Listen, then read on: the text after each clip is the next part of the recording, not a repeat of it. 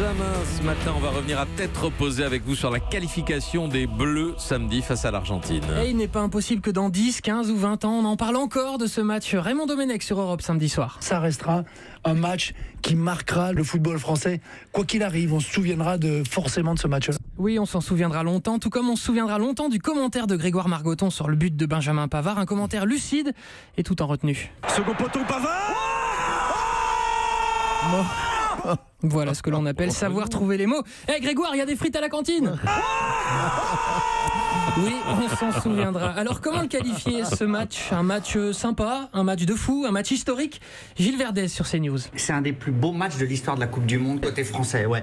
Même peut-être plus. C'est un match de légende. Minimum. Alors tout le monde n'est pas du même avis. Sur RTL par exemple, on se demande, n'est-ce pas trop que de parler de match de légende? Il peut y en avoir 20 mais il peut y en avoir 20 C'est comme, c'est comme si chaque fois que tu rencontres une femme, tu dis c'est la femme de ma vie. Mais non, mais Voilà, un romantique, ça fait plaisir. Et les joueurs, imaginez le stress des dernières minutes. Antoine Griezmann a bien résumé leur état d'esprit. Est-ce que t'as tremblé, t'as eu peur, Ah t'étais ouais, sur le banc. Chaque action où euh, les Argentins arrivaient vers notre surface et caca culotte, ça j'aime pas ça.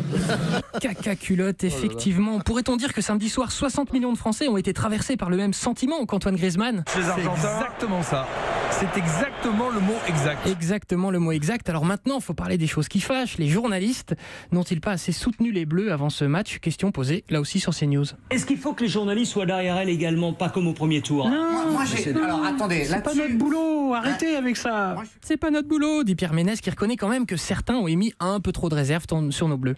Non, mais moi je veux bien qu'on écoute toutes les conneries que- qui se disent autour des, des plateaux comme les nôtres euh, ailleurs. Voilà, sur les plateaux comme les nôtres euh, ailleurs. Parce que oui, c'est sûrement pas sur le plateau de CNews qu'on aurait enterré Non. les Bleus un peu trop vite. Parce que jamais il y a eu une équipe de France aussi faible. Jamais dans l'histoire. Et depuis Ah, Voilà, jamais dans l'histoire, mais ça c'était avant. Alors les journalistes sont-ils trop versatiles? La question a été posée au philosophe des Bleus, Kylian Mbappé, qui a philosophé. C'est vraiment un rêve qui se réalise. Après, on sait que les critiques, c'est- quand c'est une compétition surmédiatisée comme ça, c'est c'est obligatoire, on est obligé d'y passer. Ouf, il ne nous en veut pas, donc on oublie tout. J-4 avant le quart de finale, mais d'ici là, qu'est-ce que j'apprends? Patrick Cohen va faire un pot de fin de saison à la rédac Ah, Visiblement, Margoton compte venir. Attendez, ce sera dans deux jours, mercredi. Europe